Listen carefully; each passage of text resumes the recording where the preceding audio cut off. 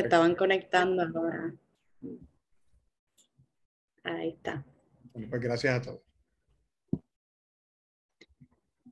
Bien, pues gracias. Eh, buenas tardes oficialmente. Para quienes no me conozcan, mi nombre es Lian Merende García y soy especialista en comunicación en salud de Americares Puerto Rico. Ya estamos a mitad de lo que es nuestra serie ECO para trabajadores de la salud con el tema Respuesta sobre la vacuna y el refuerzo contra el COVID-19 a un año de la inmunización. Son siete sesiones, ya esta es la cuarta sesión en la que nos vemos como parte de la serie mensual que surge gracias a una colaboración entre Puerto Rico Science Trust y Americares Puerto Rico y forma parte de un proyecto financiado en su totalidad por los CDC, por un acuerdo con los CDC, que es los Centros para el Control y Prevención de Enfermedades. Queremos agradecer al equipo del Puerto Rico Science Trust que como siempre hoy también nos ofrece asistencia técnica. Así que me gustaría dejarles con mi compañera Liz Mariel, no sé si Melanie también, van a hablar sobre el proyecto ECO.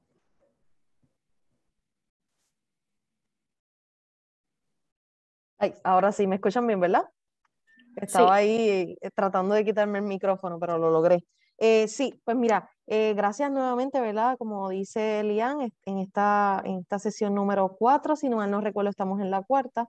Este, la, el proyecto ECO, ¿verdad? Tiene la metodología en donde todos aprendemos y todos enseñamos. Así que tanto los expertos van a estar eh, dándonos, ofreciéndonos una didáctica educativa y entonces también los participantes pueden ir aportando y así entre todos tener esa, esa discusión y así, ¿verdad? Tener esa, esa eh, la mejora continua entre todos. Así que todos aprendemos y todos enseñamos. Aprovecho, ¿verdad? Antes de la sesión, eh, mencionarles las guías generales, ¿verdad? Eh, los invitamos a todos que utilicen sus cámaras para así poder mantenernos, ¿verdad? Poder conocernos, tener un diálogo, mantener los micrófonos apagados mientras estamos en la presentación. Pueden escribir en el chat en cualquier momento, ¿verdad? Tenemos un grupo que va a estar eh, pendiente a las preguntas, comentarios. También pueden levantar la mano, pueden activar automáticamente su micrófono para hacer la pregunta o, el comentario. Eh, y con eso, pues, nos dejamos ahora con, con Lian. Gracias, Lin Mariel. Y entonces, pues, ¿verdad? Estamos cerrando mayo, terminan las clases, ya comienza, ¿verdad?, sentirse el calor del verano, como estábamos hablando antes de que comenzara el eco formalmente. Y esta es la temporada en que muchas personas aprovechan para irse de vacaciones, salir. Así que con las medidas de flexibilización, eh, digo, con la flexibilización de las medidas preventivas y los mandatos relacionados al COVID-19, pues entonces podemos esperar que haya un aumento en los viajes y en las salidas de casa. Ustedes como profesionales de la salud es probable que comiencen o incluso ya estén recibiendo algunas preguntas o dudas de sus pacientes, clientes y participantes sobre si es seguro o no salir de casa.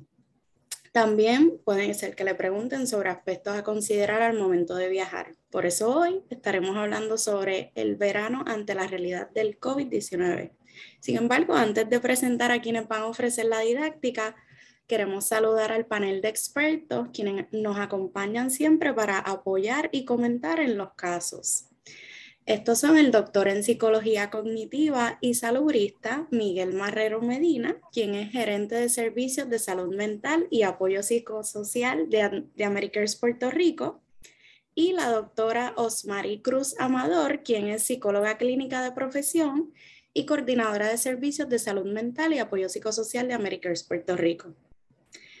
Ahora sí, para el tema de hoy tenemos a un invitado especial que se trata de Cristian Torres Rivera, quien se destaca como enfermero encargado en vacunación en la Clínica Satélite de Santa Isabel del Centro de Servicios Primarios de Salud de Patillas y cuenta con una maestría en Ciencias de Enfermería con especialidad en médico quirúrgico y rol en educación y tiene, tiene nueve años de experiencia en salud primaria.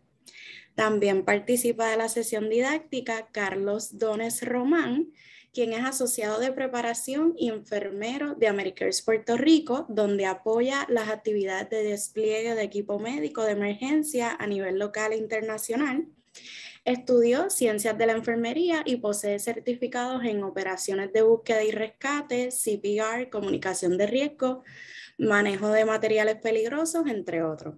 Así que adelante ambos, pueden comenzar. Pues muy buenas tardes a todos, ¿me escuchan bien? Sí. sí, chévere. Pues vamos a comenzar. Quiero que esto sea como algo más bien, más una conversación, ¿verdad? De, de, de lo que nosotros vamos a ver durante este verano en relación ante ¿verdad? la pandemia que no se ha acabado del COVID. Y antes que esto, quiero ¿verdad? mencionar los objetivos de esta presentación. Eh, los objetivos son presentar las recomendaciones de protección ante el aumento de actividades por vacaciones. Como todos sabemos, pues en verano, se acerca verano, ya las clases están acaba se están acabando y algunas culminaron, otras están por culminarse, otras escuelas. Y es algo que es inevitable durante este verano, ya que ¿verdad? hay una flexibilidad ante el COVID. Exponer las restricciones de viaje ante la pandemia del COVID, los diferentes lugares ¿verdad? que podemos visitar discutir el estatus del COVID-19 y los requisitos de entrada a otros países. Y repasar el protocolo de, del COVID en caso de positivo en viaje. Continuamos. Antes de comenzar, pues la información que se presentará en, los próximos slides es actualizada a mayo, a mayo 23 de este año. Los requisitos de viaje y recomendaciones de protección contra el COVID, esto cambia con frecuencia. Puede ser que lo que este, discutamos aquí el día de hoy, ya hoy o tal vez mañana, pues no sea así.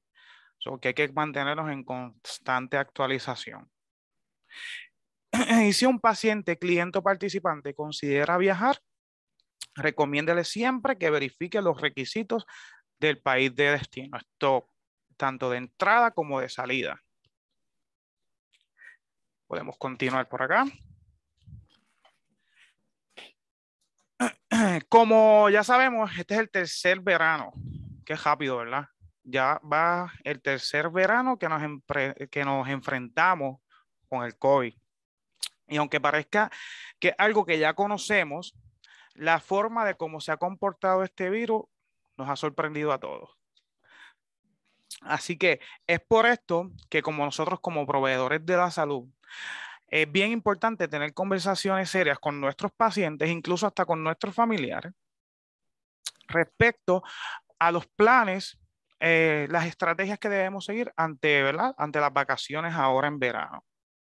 Así que algo bien importante que es un tema de discusión que es, es interesante, ¿verdad? Y es por nuestra seguridad, es verificar que toda la familia, ¿verdad? El estatus de vacunación de toda la familia si tenemos las vacunas al día, si alguno de los miembros de la familia tiene un mayor riesgo de padecer la enfermedad, si el paciente vive, la persona que va a viajar, eh, vive con alguien en riesgo de padecer una enfermedad grave o que ya tenga una enfermedad que sea propenso a adquirir con mayor facilidad el virus.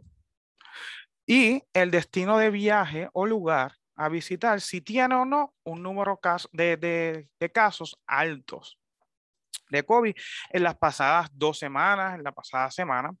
Eh, cabe destacar que en esto, ¿verdad? Hay herramientas que podemos utilizar para hacer esta investigación eh, eh, antes de, viajar.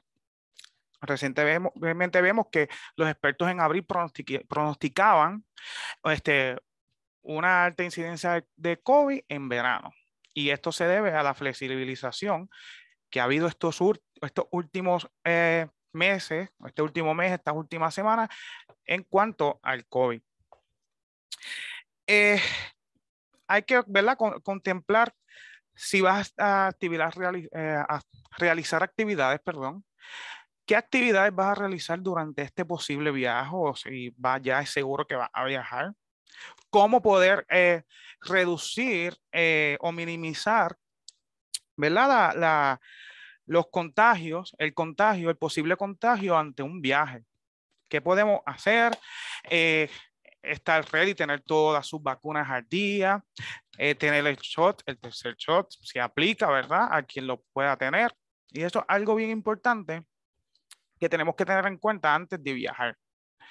Eh, equiparse bien antes de viajar es bien recomendable, ah, es recomendado, aunque todos los países, ¿verdad? Tienen diferentes, eh, diferentes, se puede llamar especificaciones en cuestión de, de los requisitos de entrada. Nosotros como profesionales de la salud, tanto personal como a nuestros pacientes, debemos eh, tener bien presente el posible contagio. Hay que estar bien preparado antes de dar este paso de viajar. Si alguien tiene un comentario, nos deja saber a través del chat que tenemos a los chicos ayudándonos. Vamos a continuar por acá. Recomendar a pacientes a no viajar o a salir, sí. Si tiene síntomas del COVID, bien. Esto es algo bien importante que debemos tener en cuenta. Hay ante la, disminución de, de, la, ante la flexibilización de ante el COVID, el no uso de mascarillas en ciertos tipos de lugares, pues hay que tener bien en cuenta si tienes un síntoma que pienses que puede estar relacionado al COVID, hay que tener un alto, ¿ok? Si bien, como dije, hay flexibilizaciones, hay flexibilizaciones, la pandemia aún no ha terminado. Por eso hay que tener en cuenta lo que dije, ¿verdad? Los síntomas del COVID. Si tiene síntomas, si le dio COVID, se recuperó. Si no tiene eh, su esquema de vacunación al día, si dio una prueba de positiva al COVID, créanme, suena repetitivo, pero esto acá, en mi experiencia como enfermero, es algo bien común que nuestros pacientes están haciendo. Nuestros pacientes están viajando con positivos a COVID. Nuestros pacientes, la mayoría no se están cuidando, han bajado la guardia desde la flexibilización del COVID. Y esto ha provocado lo que estamos viendo en esta última semana, que ya el día de hoy nos levantamos con un 30% de positividad a nivel isla. Si le dio COVID, no viaje hasta que pase su periodo de cuarentena. Eh, aún, si, es, si no has terminado, si te dio no has terminado el periodo de alimento, no bajes. Si estás, eh, no viajes. Si estás esperando un resultado de una prueba de COVID, no viaje. Recuerde, se está exponiendo usted a estar en otro lugar que no es su país, contagiado y puede contagiar a otros, eh, a tus familiares o a otras personas que estén cerca de, usted. Si tuvo contacto cercano con una persona con COVID, esperemos los cinco días. Si tuviste directamente y ya sabes que la persona está contagiada, no viaje espere, hágase la prueba y entonces decida si viaja o no. Podemos continuar. Hay unas recomendaciones ¿verdad? que eh, podemos tener con nuestros pacientes y clientes, y vuelvo y repito, incluso con nosotros mismos y con nuestros familiares antes de viajar. Continuamos con el próximo slide por ahí. Como ya dije, algunas recomendaciones son vacunarse. Tenemos ya, ¿verdad? Recientemente una segundo booster o cuarta dosis. Eh, verifique, ¿verdad? Si usted es elegible o si el paciente es elegible para un segundo booster o cuarta dosis. Esto es bien importante. Recuerde que con el segundo booster, booster lo que queremos es aumentar la inmunidad, ¿verdad? Queremos que esto no lo exime de usted eh, contraer la, condición de contraer COVID, pero sí lo puede ayudar a evitar una hospitalización y hasta la muerte. ¿Ok? Esto es bien importante. Vacunarse es lo primero. Para algunas personas puede ser, ¿verdad? Para nuestros pacientes puede ser un proceso, un, un tema muy controversial, puede ser, ¿verdad? Todos sabemos, no es nada, nada secreto de que las vacunas han sido un tema muy controversial, pero hasta el momento es la única herramienta que tenemos para ¿verdad? dar por, eh, por finalizada o tratar de controlar esta pandemia. ¿Ok? Importante. otra opción, otra recomendación que hay que hacer es, aunque el país que vaya a viajar no le exija una prueba, hágase una prueba preventiva. Hágase una prueba preventiva.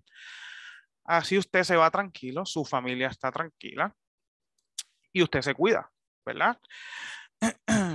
La, eh, eh, hacerse la prueba le da la posibilidad a usted de estar tranquilo. ¿Ok? Incluso hay que protegerse. Como eh, hemos repetido durante ¿verdad? lo que llevamos la presentación, la flexibilidad, ha, habido flexibilidad ante la pandemia, pero las herramientas de mascarilla es algo bien importante. La desinfección de manos por 20 segundos con alcohol, con hand sanitizer, es importante. Puedes utilizar las toallas desinfectantes y, sobre todo, la prueba del COVID. Repito, si hay alguna pregunta en el chat, me puedes interrumpir. Vamos por acá. ¿Qué hacer durante el viaje? Durante el viaje, tenga presente las recomendaciones básicas. Mantenga la distancia. Evite tocarse los ojos, la nariz y la boca. Resulta repetitivo, pero es nuestra herramienta principal. Lavado de manos, no te toques la cara, no te toques los ojos. Eh, hay que tener también tener en cuenta otras ideas para ofrecer a nuestros pacientes, a nuestros familiares. Evitar contacto con alguien enfermo. Vamos a dejar los besos para cuando estemos más safe. ¿Ok? Los saludos, el puñito. Mejor el puñito o el codo. ¿Ok? Durante el viaje, evite las aglomeraciones. Aunque el lugar que vaya a visitar no requiera que utilices mascarillas en algunos espacios o no haya la necesidad de usar mascarillas en ese país, si usted no está seguro de que el que está al lado no tiene COVID, como esto no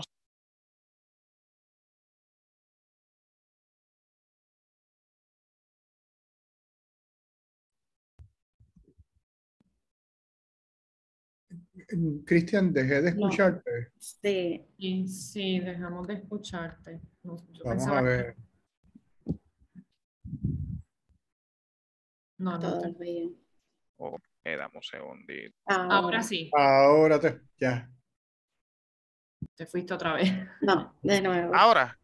Sí. Ahora. Ahora sí, ok. Vamos por aquí. ¿Hasta dónde me escucharon? que si no estás seguro del de que si el de al lado tiene COVID.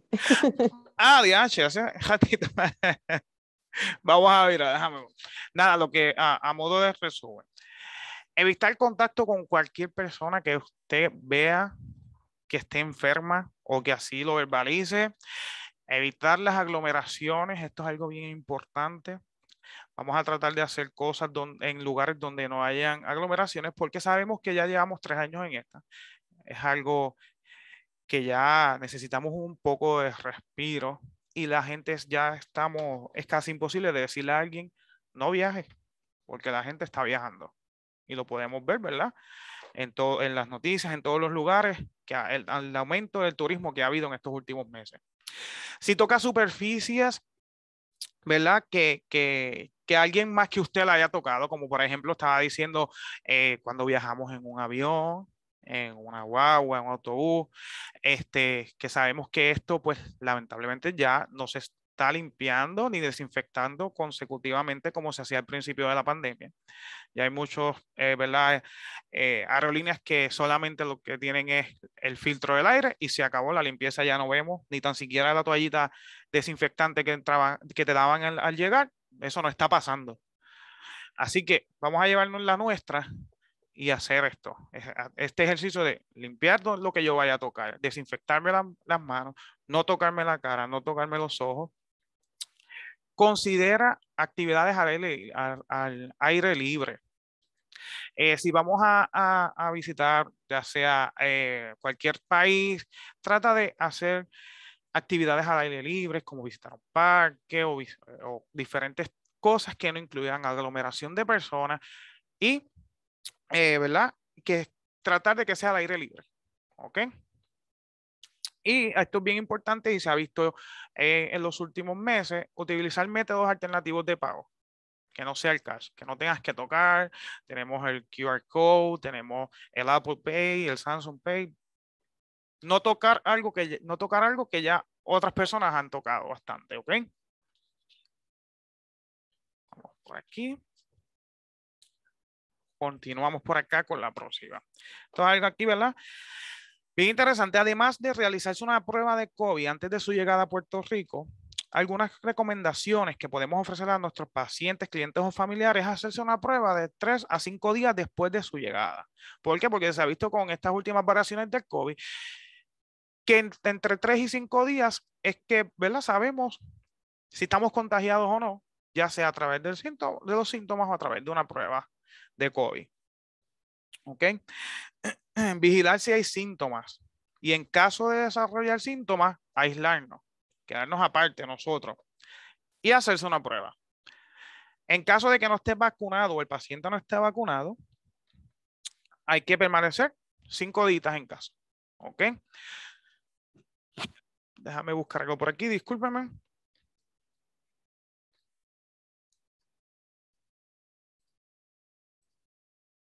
Ok. Debemos orientar a todo pasajero con origen de vuelo internacional, independientemente de su estado de vacunación, al llegar a los Estados Unidos, debe mostrar una prueba de COVID negativa de no más de 24 horas o un día. ¿Ok? Y esto incluye Puerto Rico. Eh, hemos visto recientemente noticias de que eh, están, ¿verdad? Famosos grupos de viaje, la gente sale, y hay muchos países que no están pidiendo prueba negativa de COVID para entrar. Solamente prueba de vacunación y hay otros que absolutamente ya no están pidiendo nada. Y vemos grupos de personas que de regreso a Puerto Rico, ya sea a través de un viaje directo o vuelo con escala, cuando entran a Puerto, cuando van a hacer el check-in en el aeropuerto, no se hicieron la prueba y se quedaron en el país.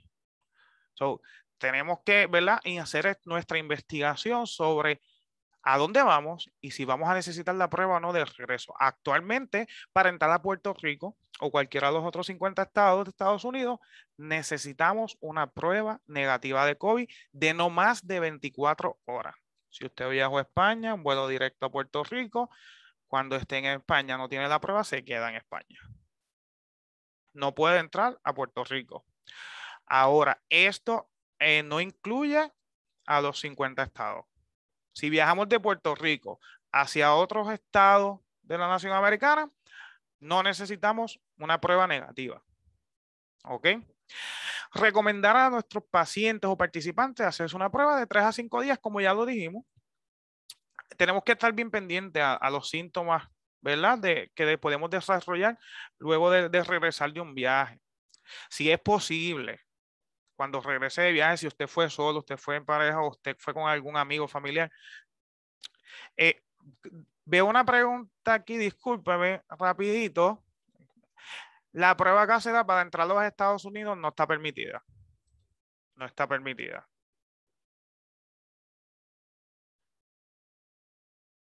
Eh, continuamos por acá. Como le estaba diciendo, vigilar los síntomas. Esto tres a cinco días de que regresemos de, nuestro viaje o que el paciente regrese del viaje, es bien, bien importante vigilar los síntomas que presentemos. ¿Ok? Y ante la duda, al tercer, quinto día se, se haga una prueba, si es posible, si es casera, la tiene, ¿verdad? Para que esté tranquilo y su familia esté tranquila. Y si es posible, cuando llegue de viaje y es posible aislarse, hágalo. Puede utilizar su mascarilla hasta que no esté seguro de que ¿verdad? No esté contagiado. Eh, considerar, como ya dije, que si el viajero no está al día con las vacunas, haga una cuarentena este, eh, por cinco días, ¿verdad? Para que salvaguarde su salud y la de su familia.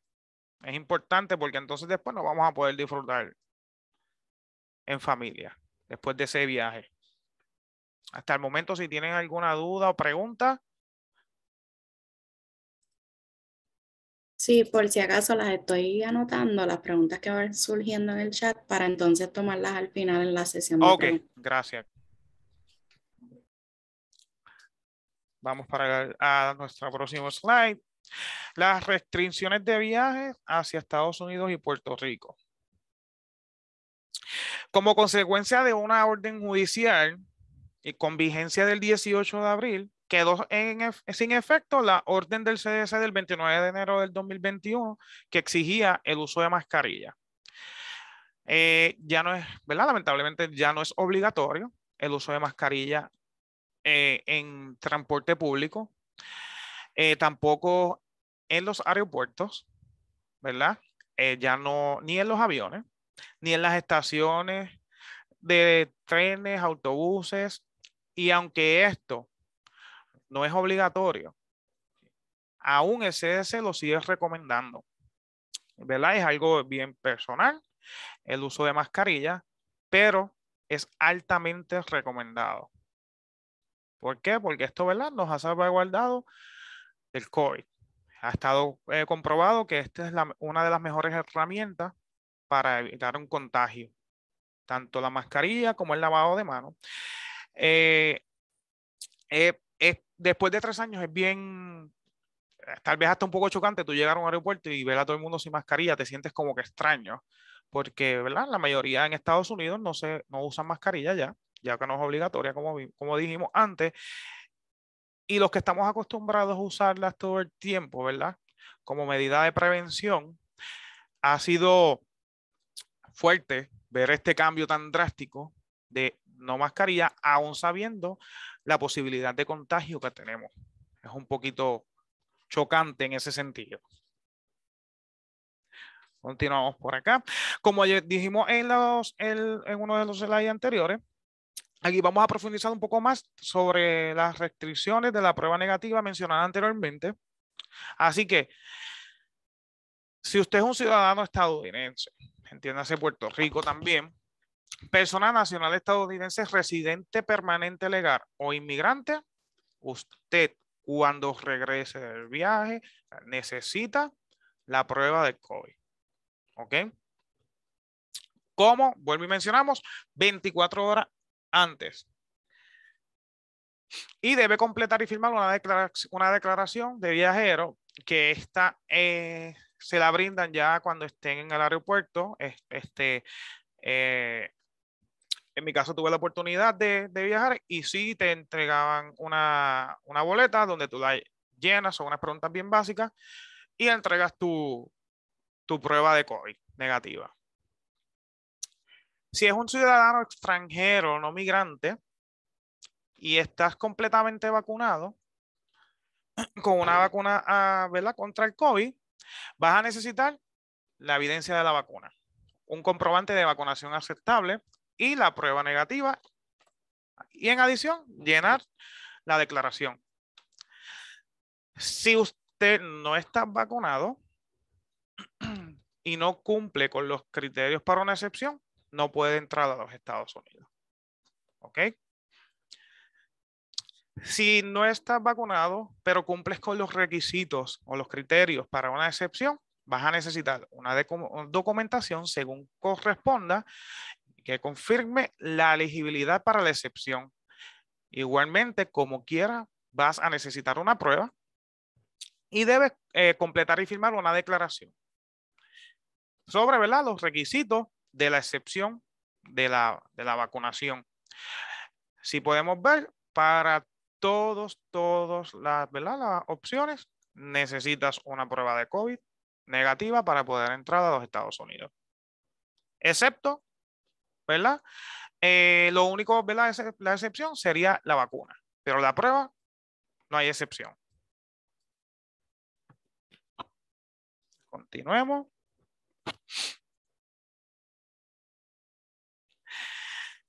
En los cruceros, es algo que, ¿verdad? Que en Puerto Rico, eh, lamentablemente, ya en este verano no va a haber crucero, pero en estos últimos meses tuvimos el último crucero. Ah, se, ha, habido un, ah, se ha visto un incremento en, en, la salida de cruceros en los Estados Unidos, ya sea en, el estado de la Florida, donde la mayoría de los puertorriqueños ven como una opción ir en crucero, un viaje en crucero saliendo de la Florida. El virus que causa el COVID se está propagando fácilmente entre las personas que permanecen en lugares cerrados, como por ejemplo los barcos. Si el virus empieza a propagarse a bordo de un crucero, los pasajeros y los tripulantes corren un riesgo de infectarse, incluso si tienen sus vacunas al día. Como ya dijimos, las vacunas nos protegen de una hospitalización o la muerte. Más no, ¿verdad? No te protegen de que no te dé. Sí te va a dar, pero vamos a tener una mejor respuesta inmune contra el virus. ¿Ok? Por eso es importante ofrecer recomendaciones a los pacientes, clientes, familiares, a cualquier persona que esté cerca de nosotros, que nosotros sepamos que va a viajar en crucero. ¿Ok? Eh, si, bien veremos aquí la presentación, el umbral de vacunación en crucero se redujo de un 95 a un 90%, y esto es verdad debido a que ya la, la mayoría de los cruceros está a capacidad total, ya están al 100%. También tenemos en cuenta que los cruceros que salen del estado de la Florida no exigen vacunación. Todavía hasta abril del año, de este año, eh, en Puerto Rico era requisito prueba negativa y prueba de y evidencia de vacunación. ¿Ok? Volvemos, recomienda estar al día con las vacunas del COVID. Si usted es un viajero inmunocomprometido o inmunodeprimido, tome en cuenta de que ahí va a estar encerrado es una ciudad flotante donde la mayoría de los cruceros igualmente no está requiriendo la mascarilla. Tienen que tener en cuenta eso. Consulte la clasificación de riesgo de crucero.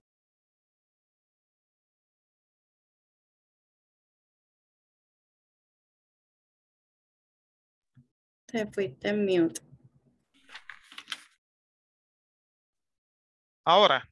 Ahora. Ahora, sí. discúlpenme.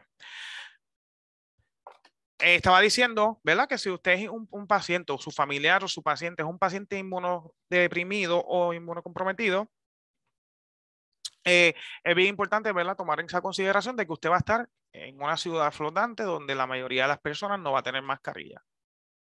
¿Por qué? Porque no es requisito ya, eh, la, ¿verdad? En, en, este tipo de, de lugares, en, este en los cruceros y consultar la clasificación de riesgo para los cruceros en los CDC. El CDC ya provee una herramienta para tú investigar cómo están los casos de COVID o cómo estuvieron los casos de COVID en los cruceros. Incluso, entrando al link que está por ahí, tú puedes ver qué crucero, eh, cuánto, qué, qué cantidad de personas con COVID tiene cada crucero, incluso con nombre y línea de crucero. O sea, que eso ya, si es un crucero que sale de los Estados Unidos, lo puedes ver a través del CDC. Y, ¿verdad? Cabe destacar que el virus del COVID se propaga fácilmente en los barcos, en los cruceros, por esta razón de que estamos todos ahí encerrados y contando la tripulación, alrededor de la mayoría de los cruceros tiene más de 3.000 hasta 5.500 o más, dependiendo del crucero que vaya. O que hay una alta probabilidad de que adquiramos COVID, nos contagiemos si no seguimos las medidas de prevención. Vamos, continuamos por acá con el próximo slide. Abundando sobre el tema del programa de clasificación de colores de crucero que tienen los CDC, el sistema de codificación es por colores y ofrece a los, a los viajeros información que pueden utilizar para tomar decisiones informadas antes de elegir viajar. Las designaciones del estado de los colores indican el número de casos de COVID notificados para cada barco. Si necesitas hacer una investigación, las medidas de salud públicas adicionales que está tomando un barco y si un barco ha optado por salir de programa. Hasta ahora, eh, yo estuve investigando, ¿verdad? Esta, que es lo que vemos aquí en la presentación. Eh, todavía está en función. La mayoría de, los de eh, compañías de cruceros lo están utilizando. ¿Ok? Eh, el verde significa que no tiene, ese crucero no tiene ningún caso reportado. El amarillo es que tiene eh, menos del 0.3% del total de los pasajeros, incluyendo la tripulación. El anaranjado es menos del 0.3% o más del total de los pasajeros y o tripulación. El rojo significa más del 3% del total de pasajeros y, o tripulación.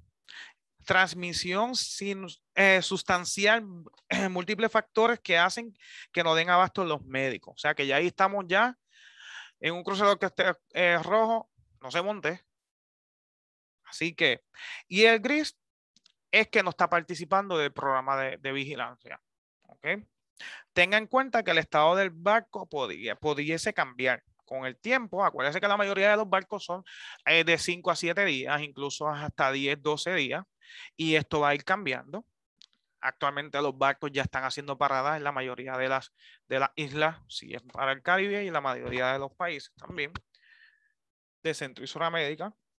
Así que esto es una herramienta bien importante que nosotros podemos compartir con nuestros pacientes y también con nuestros familiares y para, para uso personal también, de hacer esta pequeña investigación. Si va en crucero, verifique si su crucero participa de este programa, búsquelo y usted va a ver. Y ahí tomas la decisión antes de, de ¿verdad? De, irte de vacaciones en crucero. Que a la mayoría de los puertorriqueños somos locos con los cruceros.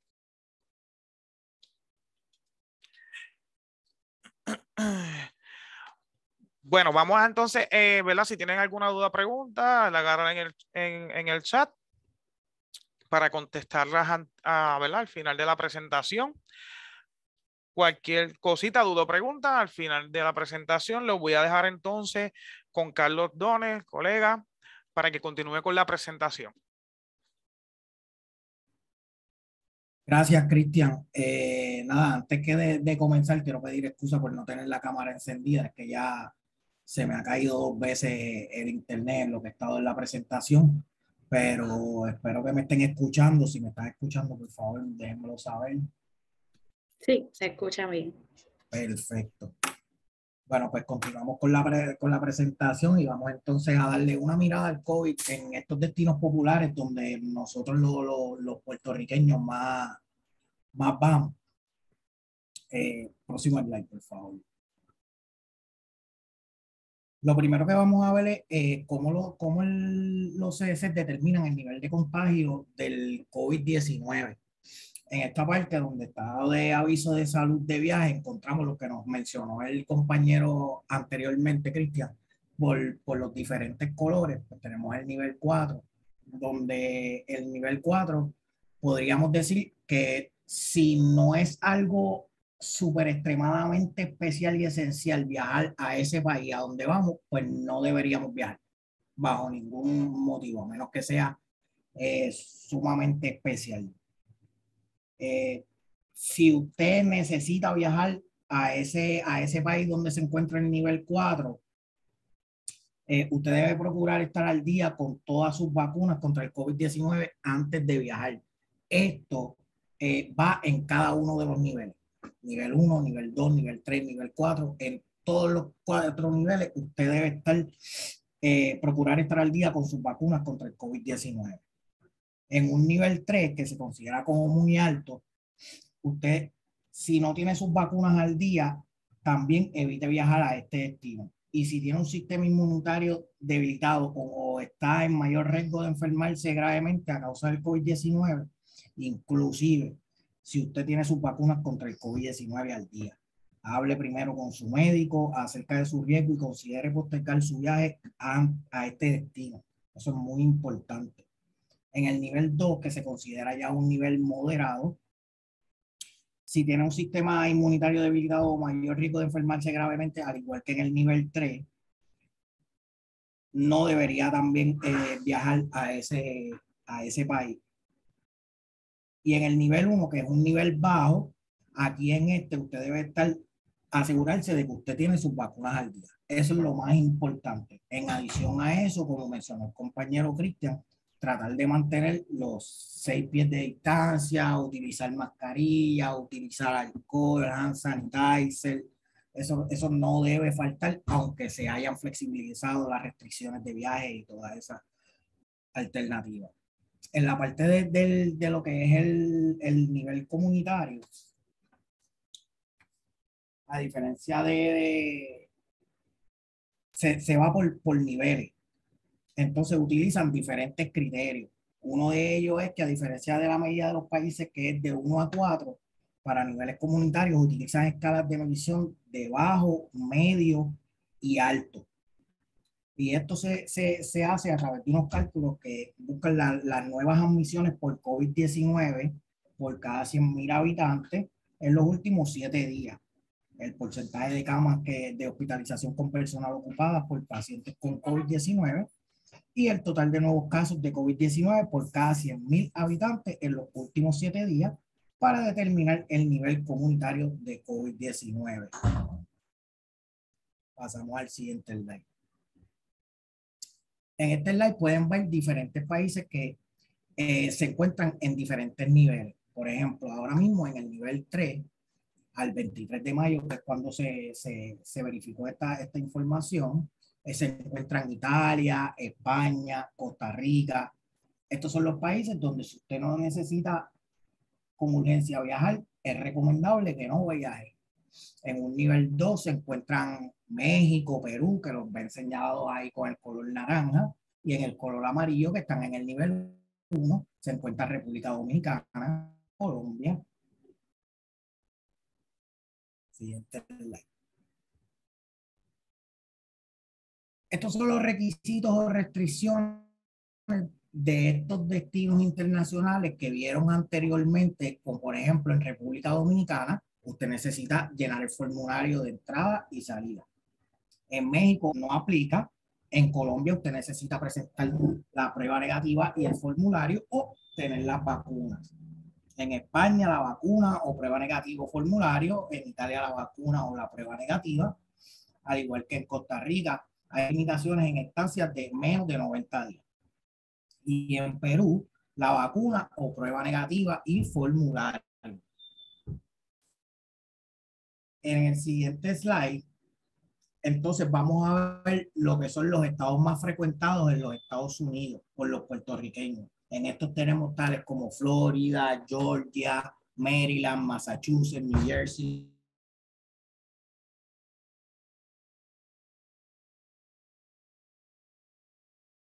New Jersey, New York y Pensilvania. Carlitos, te habíamos dejado de escuchar. Eh, ¿Dónde me dejaron de escuchar? Estabas mencionando los Mira. estados. mencionando los estados.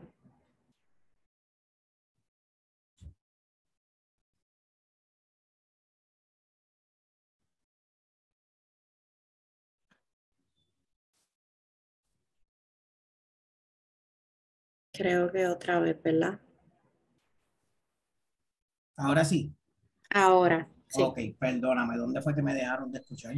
Era mencionando los estados, la lista de estados. Ok, pues tenemos la lista de estados aquí en la, en la, en la pantalla y entonces donde más contagios se están reportando en estos momentos, pues en el área de Massachusetts, New Jersey, New York y Pensilvania. Siguiente slide. Ok, ¿qué hacer en caso de arrojar positivo en otro país o estado? Lo primero que debemos hacer es consultar los reglamentos del destino a, visitar. Tener en cuenta que el tiempo de aislamiento y cuarentena varían en cada país. Algunos países cuentan con hospedajes para turistas que, que están positivos y también deberían investigar si el hotel tiene programas o seguros para extender la estadía en caso de arrojar positivo. Si está de viaje y recibe un resultado positivo, usted deberá aislarse y proteger, postergar su regreso hasta que sea seguro viajar.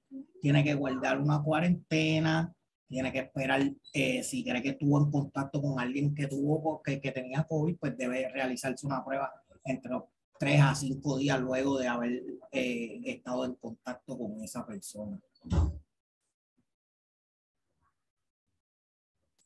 Y en el siguiente slide es donde usted podrá encontrar estas fuentes de información que usted puede consultar para todas estas recomendaciones que hablamos anteriormente. Tiene tanto como del CDC, el Departamento de Estado Federal y el Departamento Ministerio de Salud del destino a donde usted va a viajar. Esto es sencillo, gente. tenemos lo que es la herramienta de Google, podemos conseguir toda la información a través de Google y buscando esas fuentes confiables como son el CDC y los departamentos de estado de cada, de cada estado. Eh, esa, esa, esa información, si pueden dejarla ahí en pantalla por lo menos un minutito adicional para que las personas puedan anotarlo, se los voy a agradecer. Y entonces, si tienen algún tipo de, de pregunta, la pueden realizar por el chat. Nosotros ya estamos listos para contestar sus preguntas.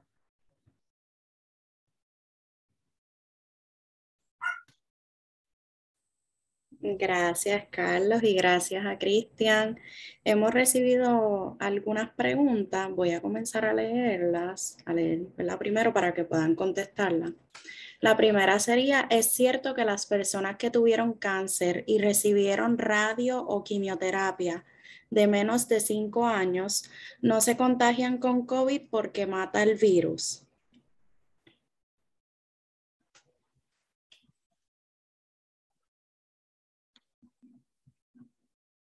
Estás en mute, Cristian.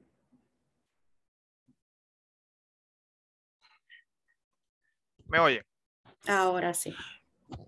Eh, no sé de dónde sale esa información, pero hasta el momento la, todo, ¿verdad? Toda persona eh, tiene, ¿verdad? La, la, posibilidad de contagiarse. O sea, cada uno estamos propensos, la palabra, estamos propensos a, a contagiarnos en cualquier momento. Y más cuando estamos de viaje. Y más a las personas, ¿verdad?, eh, que están recibiendo tratamientos de cáncer, estas personas están inmunocomprometidas, inmunosuprimidas y estas, ¿verdad?, ya, ya se les está recomendando hasta la, ¿verdad? la cuarta dosis o incluso si estuviste, eh, ¿verdad?, con tratamiento al inicio de, de la pandemia, se eh, estuvo recomendando una tercera dosis como dosis primaria, o que las personas, ¿verdad? Totalmente saludables o que no estén inmunocomprometidas, recibimos dos dosis, como serie primaria de vacunación. Personas inmunocomprometidas, como es el caso de los pacientes con cáncer, recibían una tercera dosis como dosis principal y dos dosis de refuerzo, que la última, ¿verdad? Recientemente aprobada, porque estas personas llegan a tener hasta cinco dosis de vacuna. Cada uno de los pacientes, cada uno de nosotros, incluyendo los pacientes inmunocomprometidos como las condiciones del cáncer, estamos propensos a contagiarnos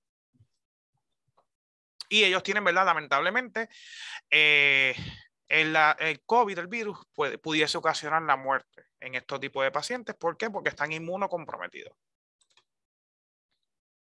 Ok, gracias, Cristian. La siguiente pregunta sería, una persona que está en Florida, regresa a Puerto Rico el 3 de junio, tiene tres vacunas, prueba negativa de COVID del 3 de mayo, si es requisito volver a realizar la prueba viene desde Florida. Entiendo que... Si viene de Florida y está vacunado y tiene prueba negativa. Del 3 de mayo, pero regresa el 3 de junio, que ya sería un mes siguiente. La recomendación es que si, si regresas a tu hogar, a tu casa, vas a estar con tu familia. Recomendación es que hagas tu periodo de aislamiento y de tener algún síntoma, ¿verdad? Dentro de los próximos 3 a 5 días es que te realices una prueba.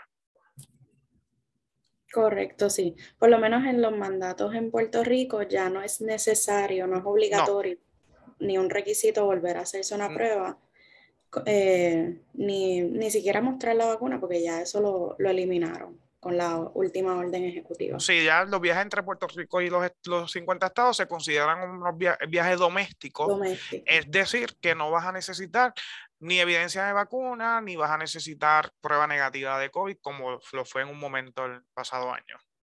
Ah.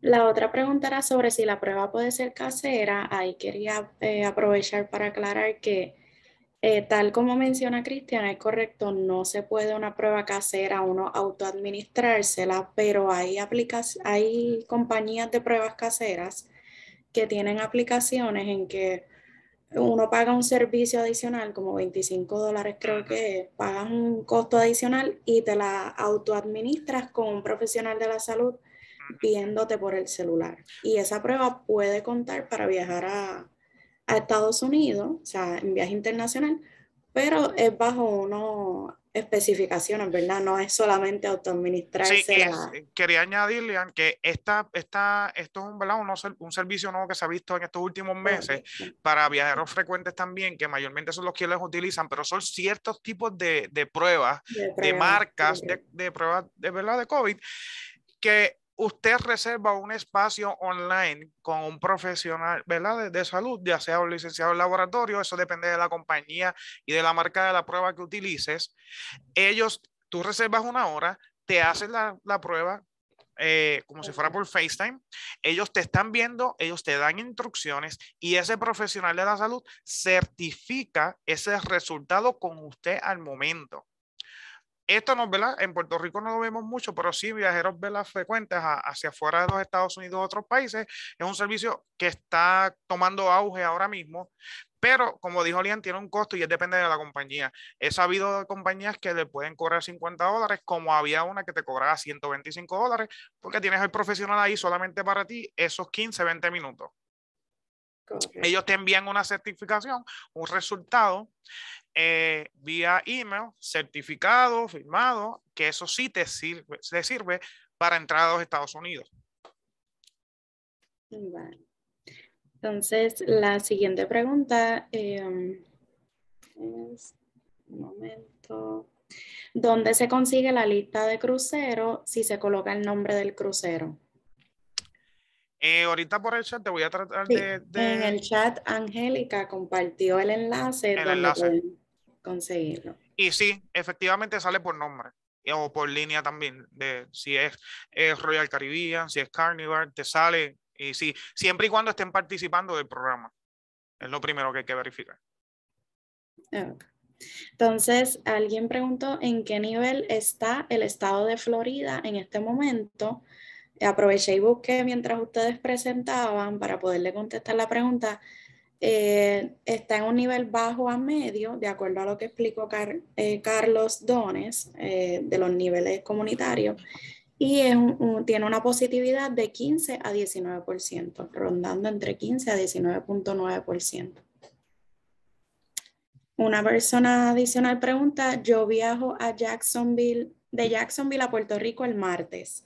Me tengo que realizar la prueba el lunes. Además, tengo que llenar el registro de viajero electrónico. Eh, pues mira, no, no, ya no es requisito llenar ningún formulario ni traer ninguna prueba, pero como repetimos, ¿verdad? Por, por tu seguridad, por tu, la seguridad de tu familia, pues debes estar vigilando por, el, ¿verdad? Por, por algún síntoma entre el, el día 3 y el 5 de, haber, de haberte montado en un avión, que ahí estamos bien propensos, de haber visitado un aeropuerto. Como mencionamos, el aeropuerto ya no, ya no el uso de mascarilla. ¿verdad? Vamos a depender también mucho de, la- de las medidas de prevención que cada uno de nosotros utilicemos. Gracias. No sé si alguien más tenga alguna pregunta, pueden abrir el micrófono o utilizar el, el, la- el servicio de levantar la mano, pueden también utilizarlo, o abrir micrófono o escribir en el chat. Buenas tardes, yo soy la doctora Silvia Cabrera, es la que hizo la pregunta de Florida. Oh. Mientras yo estaba acá, mi hija y su esposo desarrollaron el virus. Ya ellos están negativos, pero como yo voy de acá el día 3 de junio, pues necesito saber qué precauciones debo tomar, porque ellos estaban positivos, yo no. Pero ya ellos se hicieron la prueba de nuevo y está negativo. ¿Alguna recomendación? ¿Me No oigo escuchan? nada. ¿Me oyen? Ahora Sí. la Ahora sí. Ok. Pues mira, las recomendaciones ya ellos pasaron, ¿verdad? De, de estar negativos. Eh, la recomendación sigue siendo las medidas universales de verdad de prevención, lavado de manos. Eh, si ya ellos están negativos, no tienen ningún tipo de síntoma, eh, medidas adicionales que usted pudiese tomar, lavado de manos frecuente, evitar los besos y abrazos, saludos, el contacto ¿verdad? físico. Sabemos que es un poquito difícil, eh, pero estas medidas de prevención las debemos estar utilizando siempre. Una en específico, pues ya ellos están negativos, ya, ¿verdad? Usted no se va a contagiar. ¿verdad? Según la guía, ya el paciente está, si está negativo, ya el paciente no contagia. No sé si me, si me hice explicar, entender. Sí, muchísimas gracias. Les felicito por la orientación. A la orden siempre. ¿Alguna otra pregunta, duda en relación a los viajes? Sabemos que ya se que estamos en verano, ya estamos en mayo, finales de mayo, principios de junio, vienen por ahí los viajes. Eh, ya como dije, es inevitable decirle a las personas que no viajen. Eh, debemos, vuelvo y repito, tomar todas las medidas posibles de precaución, evitar las aglomeraciones. Sabemos que mucha gente va para Disney, como, ¿verdad? Como típico, típico puertorriqueño en verano, que todo el mundo quiere ir a Disney. Disney está explotado, no cabe un alma. Disney no requiere uso de mascarilla. Disney ha bajado la guardia totalmente por experiencia propia, se los digo, ha bajado la guardia totalmente, no vas a ver a nadie desinfectando, solamente hay estaciones cada ciertos pies, dejan sanitizer. En las filas, sabemos que en las filas está todo bajo techo, estamos todos encerrados, estás en Florida. Eh, de verdad que hay que tener precaución a donde vayamos. sí, a donde sea que, que fueran también. Eh, bien, pues gracias. Eh, entonces, Lean, pues, discúlpame, antes de terminar, hay una pregunta en el chat. Los relacionados a los cruceros. El relacionado a los cruceros, lo que estamos explicando es que en los cruceros hay una alta posibilidad, ¿verdad?, de, de que te contagies con COVID y que hagas una investigación antes de subirte a un crucero, antes de comprar. Eh, los cruceros ya no están exigiendo la- el uso de mascarillas. Eh, los cruceros que salen del estado de la Florida no te exigen estado de vacunación ninguno. O sea, prácticamente estamos por ahí free willy en, es- en el, en el estado de la Florida. En Puerto Rico actualmente, al día de hoy, ya no están saliendo cruceros, ¿verdad? Eh, no van a otro alcance por la situación que tuvo, ¿verdad? El, gobierno con, con, ¿verdad? Con la, autoridad de los puertos y todo ese revolú. No están saliendo cruceros de Puerto Rico hasta noviembre. So, estas medidas de prevención hay que ¿verdad? tenerlas bien presentes cuando salimos del estado de la Florida. En los cruceros hay una probabilidad de que nos contagiemos. El uso de mascarilla eh, no es requerido. El estado eh, de vacunación de, lo- de, de, de todas los, am, de todas las personas no se sabe, es desconocido, no se pide eh, prueba negativa. Es todo lo contrario a lo que estábamos, estuvimos acostumbrados en Puerto Rico a principios de año, que comenzó. La- la- los cruceros a salir de Puerto Rico, que sí exigían estado de vacunación, que sí exigían prueba negativa y que sí exigían el uso de mascarillas dentro de los espacios cerrados del crucero. Bien, pues gracias. Vamos ahora a pasar al caso, a la discusión del caso de hoy. Eh, recuerden que ustedes también pueden someter su caso si tienen algún. Algún caso personal, un paciente o alguien que conocen, claramente sin comprometer la confidencialidad de esa, eh, de esa persona, ¿verdad? Pueden someter su caso, al final le vamos a estar compartiendo un enlace para que puedan someterlo. Así que me gustaría dejarle ahora con la doctora Osmari Cruz Amador para que presente el caso de hoy. Muchas gracias, Lian, y saludos a todos y a todas. Gracias por una vez más estar aquí conectados con, con todos nosotros eh, y por su participación y sus preguntas que han sido excelentes. Siempre estos temas, como mencionó Cristian, son muy cambiantes eh, y pues, de la misma manera confunden. Así que gracias por toda esa información a Cristian y a, y a Carlos por aclar- aclararnos tantas dudas. Vamos entonces a la presentación del caso. Como mencionó Lian, el propósito de, de la presentación del caso es que ustedes mismos participen, enciendan sus micrófonos, intercambien ideas, intercambien conocimiento eh, y recomendaciones acerca de lo que vamos a discutir. Y hoy vamos a hablar eh, de una pareja que ambos tienen 35 años y son padres de dos niñas, una de 5 y una de 11 años de edad. Los padres, la pareja, eh, está vacunada contra el COVID-19 y se vacunaron tan pronto la vacuna estuvo disponible, pero con la llegada de la primera dosis del refuerzo y el aumento de casos positivos en personas ya vacunadas, ambos padres comenzaron entonces a dudar de la efectividad de la vacuna. Y es por esto que no se han puesto la primera dosis de refuerzo, así que. En, términos generales, no están al día con sus vacunas. Y ellos verbalizan, si la vacuna funcionara, ¿por qué me tengo que poner un booster? Es importante entonces también aclarar que tampoco, por estas razones, tampoco han vacunado a ninguna de las dos niñas que ya tienen edad para vacunarse. Eh, porque, ¿verdad? Eh, los padres tienen miedo a los efectos a largo plazo de la vacuna, especialmente los tan nombrados problemas de fertilidad. A estos padres les gusta viajar, a veces viajan ellos dos solos y cuando las niñas no tienen clase, pues de vez en cuando también se las llevan a ellas. Eh, entre 2021 y lo que va de 2022 han hecho varios viajes, entre ellos algunos destinos han sido México, Jamaica, Guatemala y varios estados de los Estados Unidos. Y en estos destinos han optado por las opciones de pruebas de COVID-19 en vez de mostrar la evidencia de la vacuna. En algunos países, pues, todavía eh, está la opción de presentar la, la, la evidencia de vacunación o la prueba. Así que vamos a ver, vean las, preguntas que tenemos en pantalla y nos gustaría escuchar o leer en el chat qué recomendaciones eh, podemos ofrecerle a estos padres para disipar esas dudas que tienen relacionadas a, las vacunas ¿no? y a los mitos asociados a, la vacuna.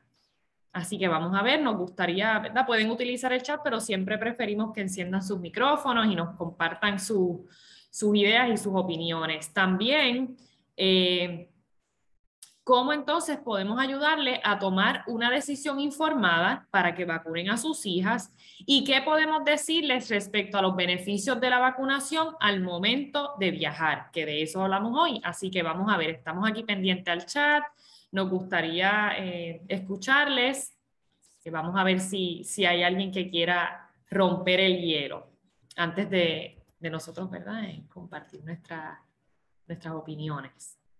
Tenemos cuántas personas, 80, contándonos a nosotros, somos 80 personas conectadas, así que tenemos muchísimos profesionales de la salud aquí hoy. Vamos a ver si hay alguien que, que haya tenido quizás un caso similar, ¿no? De padres que, no hayan, que estén vacunados y no hayan querido vacunar a sus hijos. Así que vamos a ver cómo usted eh, ha hecho el acercamiento a estos padres para informarlos acerca de los beneficios que pudieran tener si, si tuvieran su vacunación al día y vacunaran a sus hijos. Vamos a ver. Hay que recordarles. ¿Quién anda por aquí? Yo, la doctora Silvia Cabrera. Hola, doctora, adelante. Sí, hay que recordarle a los padres eh, que nuestros hijos se han librado del polio, del mumps, de muchas otras condiciones de las cuales reciben vacunas y las cuales son, eran obligatorias en aquel momento, no sé ahora cómo está, pero eran obligatorias para entrar sus hijos a la escuela. Y qué bonito, han vivido libres de todas esas enfermedades gracias a una vacunación. Se ha informado positivamente el efecto de este tipo de vacunación que tenemos en este momento y hemos visto cómo eh, hemos sido protegidos de las muertes constantes que había con el COVID. Es explicable en las personas que están comprometidas de diabéticos, con enfermedades cardíacas, es explicable, ¿verdad? Que haya eh, muertes, pero definitivamente esta vacuna ha protegido contra las muertes, contra todo lo que estaba sucediendo con el COVID. No hemos salido de ello todavía, pero si usted no vacuna a sus niños, usted los expone más a que tengan gravedad de síntomas con esta enfermedad. Hemos visto que ahora mismo tengo el ejemplo en mi casa de mi hija vacunada, tiene artritis reumatoidea, acaba de pasar el COVID y fue como un simple catarrito, ¿verdad? Pero la libró de que pudiera ser mucho peor. Claro. Así que yo los convencería en ese aspecto. No sé si otro tiene otra opinión. Y, eh, ¿verdad? Mientras, mientras esperamos que la próxima persona se, se anime a, compartir su opinión, me parece súper interesante lo que usted menciona, doctora. Eh, número uno, porque eh, aparte, usted menciona que los están exponiendo por no vacunarlos, pero también los están exponiendo, aparte a eso, no los vacunan, pero también se los llevan a viajar. Así que tienen mayor exposición. Y me parece muy interesante la estrategia que usted está utilizando porque va de la mano con la información que nosotros compartimos en nuestro primer Eco de la primera serie, que la, la, presentación fue acerca de la historia de la reticencia a la vacunación y compartimos cómo históricamente por los años de los años eh, han habido un sinnúmero de enfermedades que, que, han sido erradicadas alrededor de todo el mundo gracias a la disponibilidad de las vacunas. Así que como usted dice, si nos han librado de tantas enfermedades, eh, ¿por qué no confiar en esta? Si de, las de las otras vacunas nunca buscamos ni qué farmacéutica la hizo, ni cuánto tiempo se tardaron en desarrollarla, ni quién fue el que metió la mano ahí o no la metió. Así que ciegamente las poníamos. Confiábamos, exacto. Confiábamos en esa vacunación. Y debo decirte, yo tengo maestría en salud pública y soy salubrista, por lo tanto soy pro vacuna. Claro, muchas gracias. Excelente planteamiento, doctora. Muy bien. ¿Alguien tiene alguna idea diferente, ah, verdad? O, quieren compartir eh, de experiencias que hayan tenido con padres que no, que no quieren vacunar a sus hijos? O personas que, que estén resistentes a, ponerse el refuerzo que inclusive nosotros hemos tenido eh, contacto con profesionales de la salud, que ellos mismos nos han verbalizado, me puse la primera, me puse la segunda, me puse la tercera, pero ya hasta ahí llego, ya de ahí no voy a pasar, que nos comparten ellos mismos quizás la resistencia que, que, que tienen a, a continuar poniéndose alguna dosis de refuerzo. Vamos a ver, en el chat tenemos algo. Adelante, sí. Buenas tardes. Eh, eh, pienso que, que, número uno, están exponiendo a sus hijos México, Jamaica, Guatemala y Estados Unidos. Eh, hay que verificar cómo está el porciento de contagio en esos países, aunque ya fueron, ¿verdad? Eh, si en realidad el porciento es bastante alto, ya hay unas posibilidades de una forma u otra, ¿verdad? Que tal vez se puedan contagiar esas niñas hasta ellos mismos si no han, no han tomado las debidas precauciones.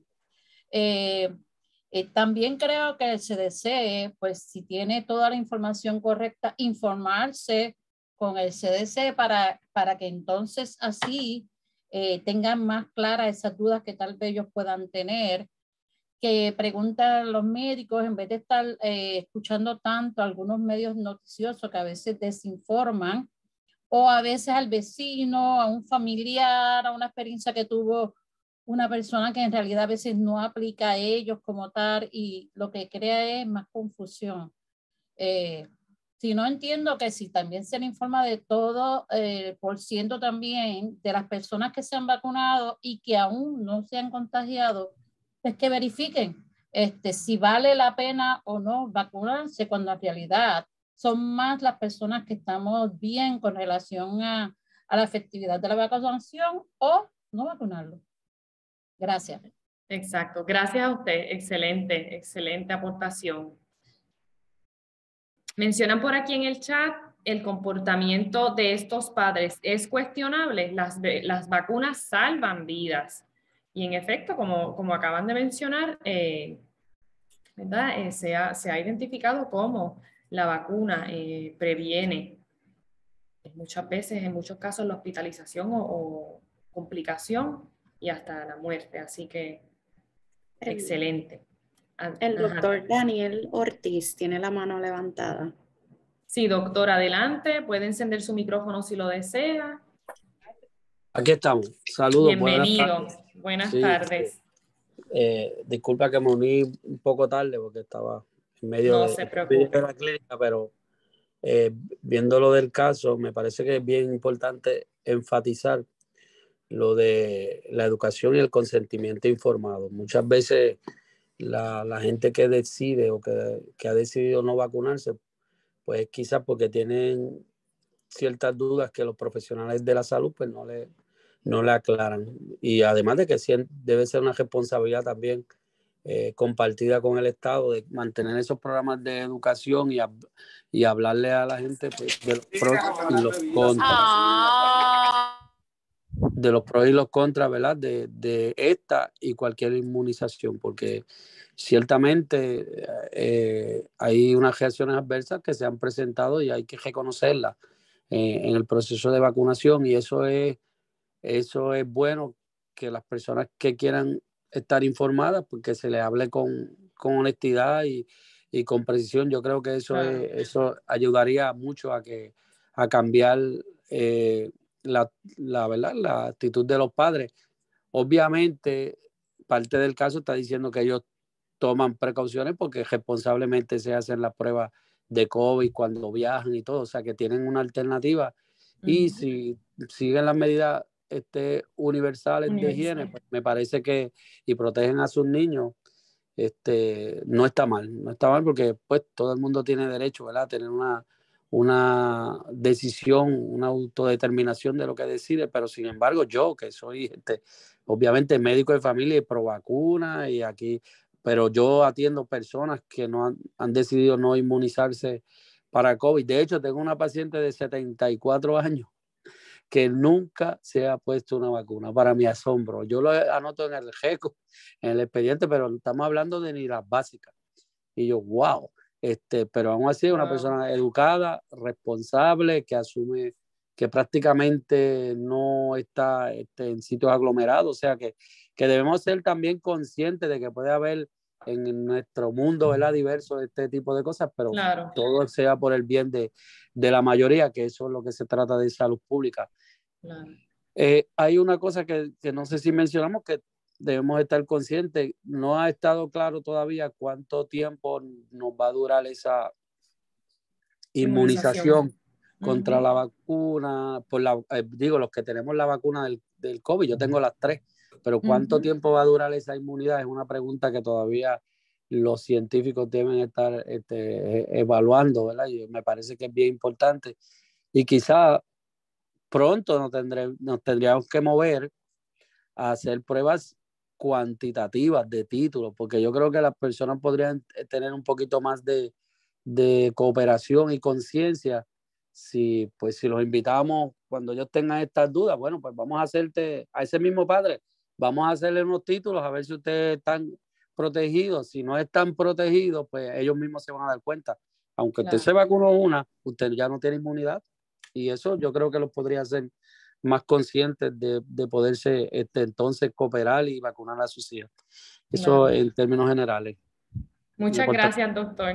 Gracias, excelente. Y estoy totalmente de acuerdo con ustedes que, ¿verdad? Cada persona eh, tiene la capacidad de tomar sus propias decisiones y cómo proteger a su familia, pero también eh, coincido con usted en que tanto la evidencia como la educación son nuestras mejores armas de defensa, ¿no? Así que como mencionan aquí en el chat, siempre es importante educar. Eh, así que gracias por sus aportaciones. Mencionan por aquí en el chat, es muy importante reeducar a estos padres, explicar que son más los riesgos versus la vacuna. Escuché a un padre que perdió un hijo y se lamentó de que en ese tiempo no había vacunas. Mire para allá. Qué lamentable. Eh, esta vacuna será añadida como las otras vacunas para los niños, ejemplo como papera y sarampión. Si el Departamento de Salud la añadirá como las requeridas en la tarjeta de vacuna. Si la, ok, que la añadirá como, como en, la, en la tarjeta de vacunas que son requeridas. Y si tienen refuerzos, como algunas de ellas. Exactamente, muchas gracias. Sí, si me permite algo adicional, el doctor Ortiz. Quería también podemos enfatizar más en lo que son las complicaciones post-COVID, después de las personas que asumen que le da COVID, cuáles son las complicaciones que están teniendo a largo plazo, porque también es una forma de educar. Bueno, este, decirle a la persona, estos son los riesgos de, de, vacunarte para COVID, está claro, estos son los riesgos, pero estos son los, las complicaciones a largo plazo que puedes tener por adquirir COVID por no estar vacunado. O sea, no, no, no la muerte, pero sí las complicaciones a largo plazo. Claro. Eh, tengo yo una paciente que puedo compartir con ustedes que post-COVID eh, no estaba vacunada y cuando le vino su periodo menstrual, una paciente femenina, eh, fue hemorrágico, le bajó la hemoglobina a 7. Y yo, wow, Y, no, y no encontré ninguna otra correlación que no hubiera sido que estaba recientemente, había estado recientemente positiva a COVID. O sea que podría entrar dentro de las, de las complicaciones post-infección, no post-vacuna, post-infección. Así que también es importante tener eso claro. Qué interesante. Y en nuestra última sesión, eh, el doctor pediatra que, que, ¿verdad? que, que fue, el, fue el recurso invitado nos comentó que él trabaja en San Jorge, así que creo que seis o siete de los niños que se atendieron en San Jorge por complicaciones de pericarditis o miocarditis a causa de la vacunación fueron dados de alta sin medicamentos y con ritmo cardíaco regular. A diferencia de los niños que llegaron al hospital por miocarditis o pericarditis eh, a causa de una infección de COVID-19, salieron del hospital de alta con medicamentos y con ritmo cardíaco irregular. Así que esto también, ¿verdad? Eh, confirma que las complicaciones a raíz de la infección son, son mayores. Doctor, preguntan por aquí y le pregunto a usted, ¿verdad? Porque usted es médico, ¿cuál es la prueba recomendada para determinar inmunidad? Si usted o alguien, puede, o alguien más puede responder esta pregunta. Prueba recomendada para determinar inmunidad. Me parece que, lo que se puede hacer es, obviamente, medir, medir, el cuantificar, cuantificar los lo, anticuerpos que pueda tener el individuo, pero obviamente me parece que es una prueba bien costosa, bien difícil, la, está accesible solamente en laboratorios especializados y por eso es que no se ha movido, a, no se ha movido la acción hacia ese periodo, porque todo, cuando tú hablas de salud pública, tiene que ser costo efectivo, eficiente, barato, simple, sencillo, accesible a todo el mundo. Que, que, el challenge, el reto es que tú no puedes, no tenemos una. Es como cuando hacemos hepatitis. Puede estar el hepatitis cualitativo, que es para saber si, si tiene inmunidad, sí o no. Pero está cuantitativo para reconocer los títulos a ver si esa inmunidad es suficiente. Todavía no hemos avanzado hacia eso con el COVID para que esté accesible a todo el mundo. Excelente, gracias doctor por su respuesta. No sé si hay alguien más que, quiera aportar, si no, eh, Lian, tú nos dices si tenemos tiempo para, para continuar o ya debemos ir cerrando. Sí, queda unos minutitos. No sé si Cristian o Carlos quieren añadir algo. yo quería compartir algo rapidito. Sí. Eh, en relación a lo que mencionó el doctor sobre la educación a los padres, ¿verdad? Eh, en cuanto a la administración de la vacuna del COVID, es que he encontrado pacientes que han regresado aquí conmigo para administrarse ya sea segunda, tercera o dosis de refuerzo este, de la vacuna hay un problema bastante, eh, ¿verdad?, de parte de nosotros los profesionales de la salud y es que no, eh, es que no estamos orientando bien a al paciente sobre eh, los efectos, posibles efectos secundarios. Son varios, pero como dijo el doctor, no son graves en comparación a, la, ¿verdad? a lo que causa el virus del COVID como tal. Eh, el CDC tiene disponible en su página, en la, en la página, ¿verdad? De ellos, eh, de internet, eh, unas 10 páginas, este, que es la que se le entrega al paciente para, ¿verdad? Tan pronto es vacunado. Se supone que cuando el paciente pues, es vacunado, se le entrega esta información y ahí indica los posibles efectos secundarios. Son 10 páginas. Pero estamos bregando, ¿verdad? Hay que reconocer, los puertorriqueños no nos gusta leerla la mayoría y si un paciente usted le entrega, esto es la información, usted el paciente no lo va a leer. Por lo tanto, se presenta un efecto secundario, como lo es la linfodenopatía, que si en los dosis de refuerzo eh, se ha visto un aumento de un 2 a un 3%, pues el paciente cuando se sienta el área inflamada debajo del brazo, cerca del pecho, el paciente se va a asustar. So, tenemos que orientar al paciente sobre los efectos secundarios más allá de la fiebre y el dolor en el brazo. Dolor, enrojecimiento, hinchazón del brazo, fiebre, dolor de cabeza, dolor en el cuerpo, náuseas, mareos, vómito, hay que orientarlo, no es darle, eh. Este, asustar al paciente, sino que el paciente salga de la oficina, del lugar de vacunación, bien orientado sobre lo que posiblemente efectos secundarios le va a pasar. Que tener en cuenta que el efecto secundario no va a durar mucho, lo más que la mayoría de los efectos eh, secundarios pueden durar son de dos a tres días, que la posibilidad de, de, ¿verdad? De, esa inflamación del brazo puede ser que esa sí dure varios días, porque según ¿verdad? los estudios de la vacuna, sí, algunos casos duraron más que otros, pero que esto va a pasar luego de la vacunación y ya dos, dos tres días va a estar todo bien otra vez. Y así, ¿verdad? Evitamos este, este, esta desinformación a los pacientes. No es que yo me vacuné y me salió una pelota aquí, que, es lo que me, encuentro. Yo te explicaron de que esto es una posibilidad de que pase. La linfodenopatía se ha visto más, incrementa más en la tercera y cuarta dosis, la posibilidad de que esto pase. Esto va a pasar. Eh, si puedes utilizar estos medicamentos over the counter que recomienda el CDC y esto sí va a pasar. O sea, es una posibilidad. Hay pacientes que no, no me dio nada, pero tengo pacientes que segunda dosis, tercera dosis, le cogieron miedo, no, porque es que me enfermé. No, no te enfermaste, te dio efecto secundario. Así que es bien importante, ¿verdad? Este, yo lo que hice, ¿verdad? La herramienta que yo utilicé con mis pacientes, ya yo conozco a mi población. Es una población que no lee, solamente lee el titular de la noticia y ya. ¿Qué yo creé? Yo creé en base a, las 10 páginas de, la información del CDC, yo creo una sola hoja con los, puntos más importantes, que son los efectos secundarios y lo que recomienda el CDC que puedes hacer para, contrarrestar estos efectos secundarios.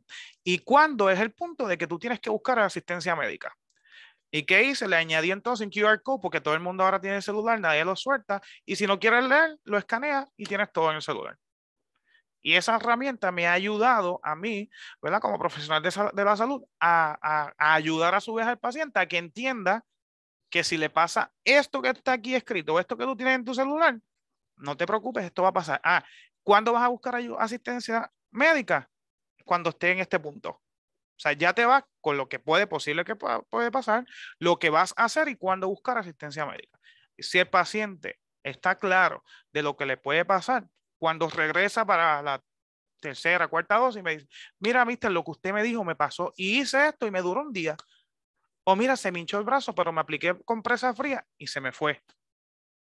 Y el paciente se siente más seguro, ¿verdad? Y se siente en confianza de que cuando venga, mira, me pasó esto, fíjate, lo que usted dijo o lo que dice el papel fue lo que hice y me ayudó. Así que la orientación. Súper, Cristian, y la importancia, lo que tú mencionaste, la importancia de conocer a nuestra población, ¿no? Eh, buscarle, como uno dice, esos gustitos o, las o identificar las necesidades especiales que tengan, ¿verdad? Eh, en, términos generales. Eh, así que conocer bien nuestra población para buscarles la vuelta, como uno dice, y educarlos de la, de la manera en que mayor ellos se sientan cómodos y más les interese, porque no todo el mundo, ¿verdad? se interesa en leer un folleto, en leer un, un estudio de investigación, eh, ¿verdad? En, leer un póster en la pared, en ver láminas, así que buscarles la vuelta, como decimos acá. Gracias, Cristian. Vamos a ver, estoy mirando aquí en el chat, no veo nada más. No sé si Lian eh, o la Angélica ve algo por aquí que se les escape. Que se me escape a mí, perdón. Yo creo que cubrimos bastante. el último comentario fue de la doctora Silvia Cabrera que dijo, le felicito, excelente discusión. Gracias, doctora. Y las aportaciones que han hecho al caso han sido eh, excelentes, ¿no? Eh, muy variadas, muy... Sí. Discúlpame, Mari. Sí, Angélica. Que su hermano había escrito en el chat que esta vacuna será añadida como las otras vacunas para los niños, ejemplo como papera y sarampión, si el Departamento de Salud lo añadiera como las requeridas en la tarjeta de vacuna y si tendrán refuerzos como alguna de ellas. Si quieres, yo puedo contestar la pregunta. Actualmente, este, el Departamento de Salud aún no lo ha incluido como parte del itinerario de vacunación de niños y adolescentes. Eh, también pues, aún, aunque sí se, eh, ellos están trabajando, ¿verdad? Eh, con un, un, papel, el famoso papel verde, el PVAC 3, que incluya la vacunación de, de, de COVID. Ahora, hacer la parte como requisito, hasta donde tengo entendido, eh, no, todavía no. Gracias, Cristian. Gracias. Bien, pues gracias a todos y todas los que se conectaron y, se mantuvieron, ¿verdad? Conectados tanto a esta como a nuestras otras sesiones. Ya estamos a mitad del camino, así que solamente faltan ahora tres eh, sesiones para completar la serie, así que les invitamos a que continúen participando. Nos reunimos el último miércoles de cada mes a la misma hora. Comenzamos a las 2 de la tarde y unos cuantos minutos antes eh, se pueden ir conectando con café en mano. Tenemos una charla un poco más informal sobre preguntas, dudas, qué nos está pasando con relación a las vacunas y a otros temas. Ya comenzamos a enviar los certificados. Vamos a estar enviando un certificado de cada sesión. Ya se supone que hayan recibido de la sesión 1, 2 y 3. En los próximos días van a recibir el certificado de esta sesión y al completar la serie, las personas que completen la serie completa van a estar recibiendo un certificado diferente con la sumatoria de todas las horas contacto. Les exhortamos ahora que llenen la evaluación y que sometan su caso. Se va a estar enviando ese enlace y no sé si lo están compartiendo por el chat. Sí, eh, Liz Mariel los está compartiendo por el chat. Así que eso sería todo. No sé si Liz Mariel puedas ponernos la musiquita y estamos totalmente agradecidos de la dinámica y, y todas las aportaciones que hacen. Gracias siempre por conectarse y por su participación. Siempre es excelente y es un gusto tenerlos aquí. Sigan regando la voz cuando lleguen, le lleguen las invitaciones, sigan regando la voz para continuar creciendo. Ah, y vamos a tener un, quería aprovechar, vamos a tener un material suplementario que vamos a enviar eh, luego con el correo de agradecimiento que siempre reciben luego de la sesión. Le enviaremos un material que resume todas las recomendaciones para antes, durante y después del viaje que pueden utilizar con sus pacientes o clientes. Gracias a todos. Esta fue a petición de Ibelis. Ah.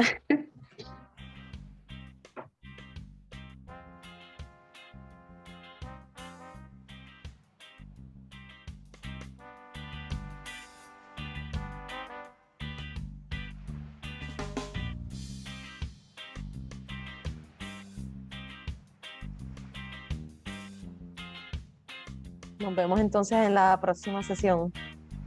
Lindo día a todos. Gracias.